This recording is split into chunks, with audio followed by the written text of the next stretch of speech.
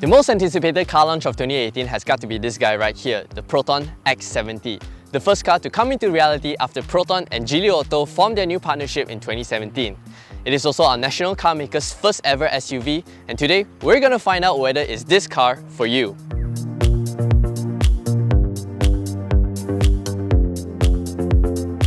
This car review is brought to you by Bosch.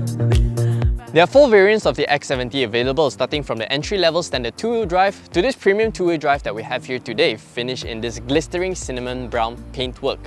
Now I took the effort to highlight its colour because the metallic flecks of the paint job under the sunshine is absolutely gorgeous. I prefer how the car looks at the front compared to the rear because the front fascia is very simple, clean and mature. Certainly will stand the test of time better than some of its rivals with extravagant and complicated designs. I love what Proton's in-house design team has done to add their own unique touch to the front grille. These interlocking weaves were inspired by batik and traditional Malaysian wood carvings. The grille is also laid out to resemble a bow. Don't you love it when there are stories behind designs?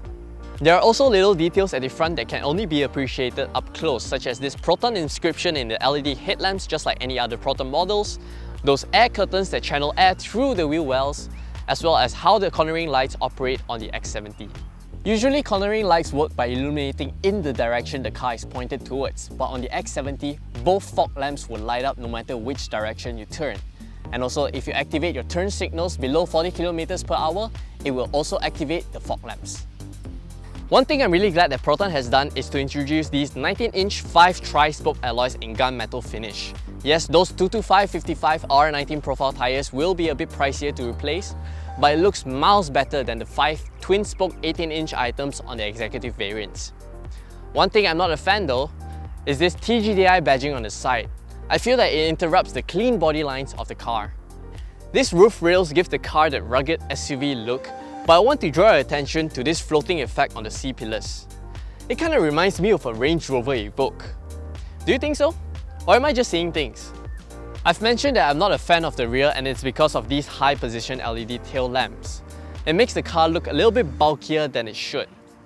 What I do like is this satin proton garnish across the tailgate and this neat rear bumper with dual hexagonal exhaust outlets. They are not connected to the actual exhaust by the way. Unfortunately, none of the X70 comes with a powered tailgate, even on this top spec premium variant. And to make matters worse, its high load lid makes loading heavier items a bit of a chore.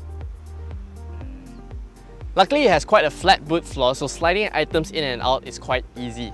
Actual space is actually quite limited if you plan to use the tonneau cover to hide your belongings from prying eyes. But if you plan to carry larger items, you can always fold the rear seats down. As demonstrated in our previous video, the tonneau cover can be attached down here and be used this way up to prevent loose items from falling out the boot.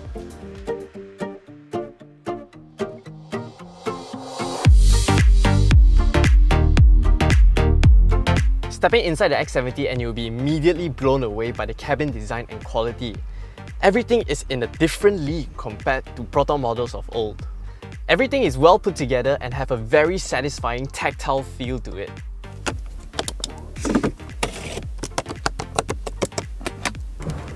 The amount of goodies you get in this premium variant is unbelievable. For just 123,000 ringgit, you get panoramic sunroof, Nappa leather upholstery, 9-speaker Kenwood premium audio sound system, 360 degree camera and a powered function for the passenger seat.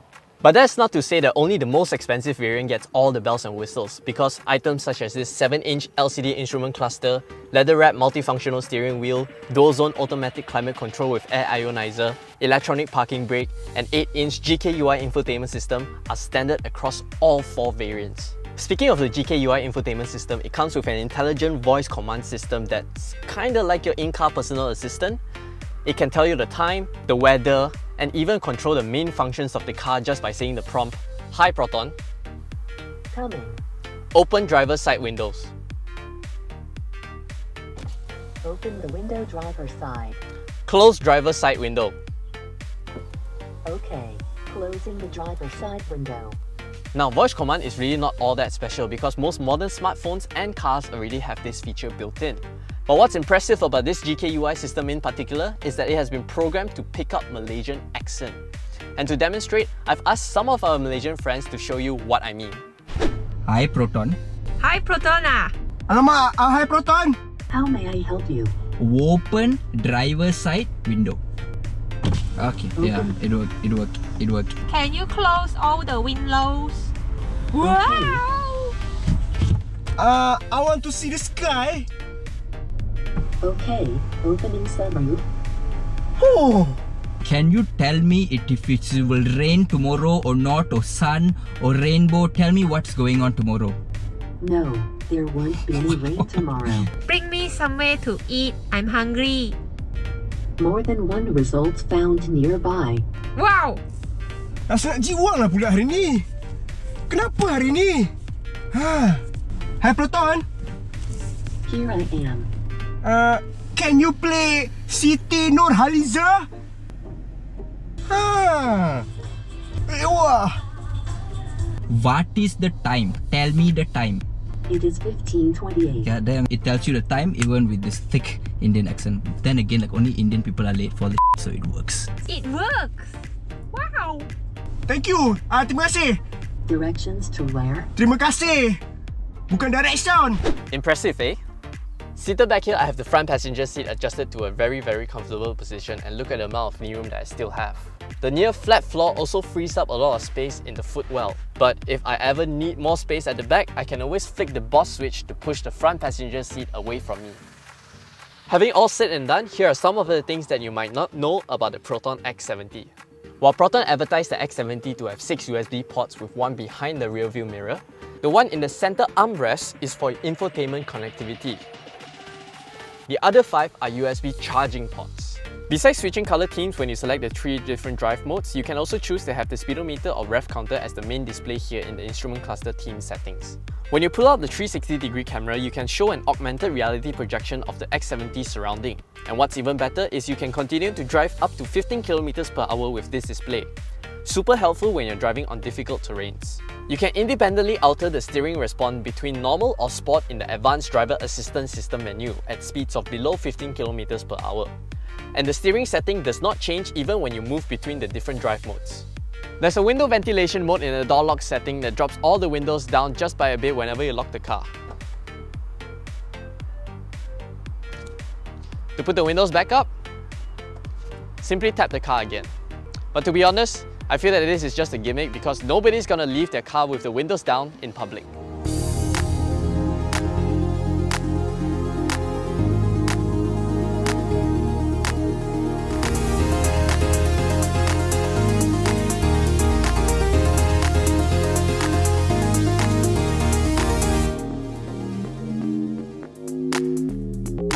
How does Proton's first ever SUV drives? In a nutshell, unlike any other Proton models that came before. Let's start with the powertrain. The 1.8 litre turbocharged 4-cylinder petrol engine pushes out 183 horsepower and 285 Nm of torque, and that makes the X70 one of the most powerful petrol-powered cars in the segment. It has 10 horsepower lesser than a Honda CR-V's VTEC Turbo, but has over 40 Nm more than a Honda. But does it feel punchier than a Honda? Not quite, because peak torque kicks in at 1700 RPM, but very quickly tapers off at 4400 RPM. And the engine still has to climb all the way up to the red line of 6000 RPM. Tipping the scale at 1.7 tons, the X70 weighs almost 200 kgs more than its closest rivals, the CR-V and the Mazda CX-5. And that does not help with acceleration times because the 1.8 litre TGDI engine will sprint from 0 to 100 about the same time as a Mazda CX-5 2 litre. Don't get me wrong, it will still take you up to triple digit speeds without breaking a sweat, but it will do it in a much more relaxed manner. What it lacks in outright punch, the X70's 6-speed automatic transmission makes up for it in refinement.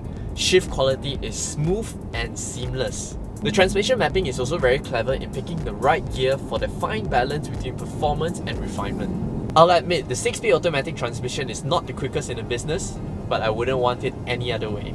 The suspension is also very obviously set up for upright comfort because the way these things filter out undulation makes it feel like I'm driving on a layer of pillows. All the road imperfections are absorbed by the suspension very nicely, but if anything gets transmitted through the cabin, you know you've hit something big. I've mentioned that I prefer the larger 19-inch wheel design, but the slight trade-off is the 225-55 profile tyres doesn't quite round off the sharper edges all that well. But in all fairness, this car's ride quality is top notch.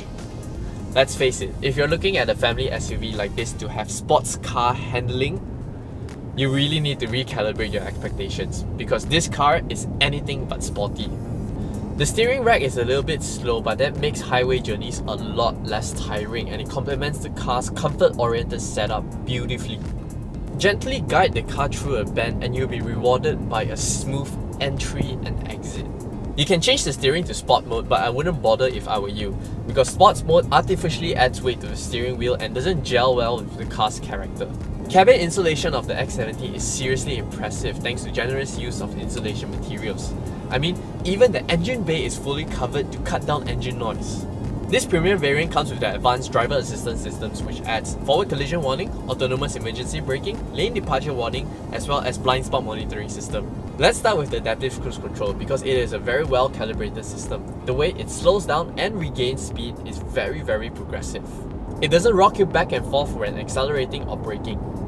One thing to note that the autonomous emergency braking only operates below 30 km per hour, so don't go around taking unnecessary risk on the highway.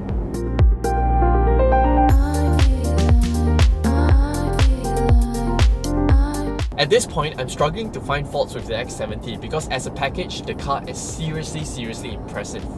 But looking at things in isolation, there are some things that I want to nitpick. For starters, the seating position of the X70 is relatively high. I can't quite find a laid-back, relaxed seating posture because I'm just seated so high up. The Bluetooth phone call transmission is not the clearest out there. I had to repeat myself multiple times to get my message across. Next, the side mirrors are huge. It creates quite a blind spot when I'm entering a roundabout or exiting a junction. Weirdly, I find myself having to manually activate the blind spot monitoring system every single time I get into the car. I wonder what's the logic behind this or whether is this just a software bug. But in all fairness, the X70 is a very impressive car. As a whole, nothing in its price nor segment comes close to the amount of features and sophistication the X70 offers. Well done Proton, very well done. Like a hero. I feel like a hero. So is this car for you? Well, if you're looking for a sporty handling SUV that makes you feel connected to the road behind the wheel, then probably not.